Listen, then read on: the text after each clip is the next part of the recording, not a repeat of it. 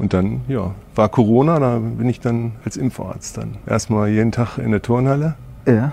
Und wo da, in Magdeburg oder wo? Nö, das war in Helmstedt. Okay. Das ist und in der Nähe da, oder? Genau, genau. Und okay. da bin ich dann über Zufall drauf gekommen und dann ja, bin ich jeden Tag impfen gegangen. Das ist natürlich ein hohler Job. Sehr viel Kaffee trinken, sehr viel rauchen.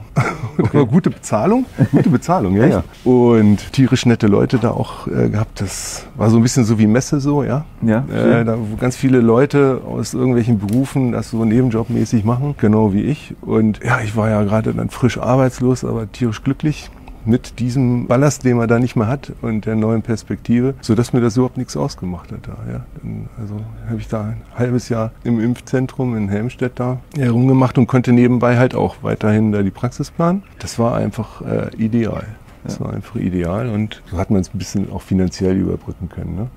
Du hast ja dann keine Einnahmen mehr. Hast dann Offiziell bist du arbeitslos, in Anführungsstrichen? Genau, ja. genau. Kriegst aber kein Arbeitslosengeld. Kriegst du ja nicht, wenn du die letzten zehn Jahre nicht eingezahlt hast in die Versicherung. Da kriegst du ja kein, kein Arbeitslosengeld. Du bist zwar arbeitslos gemeldet, aber du kriegst keinen Cent. Klar, du kannst das Glück haben, wenn du da ein Konto voll hast, so, aber das war jetzt bei mir nicht so. So bin ich dann jeden Tag dahin. Schöne Zeit.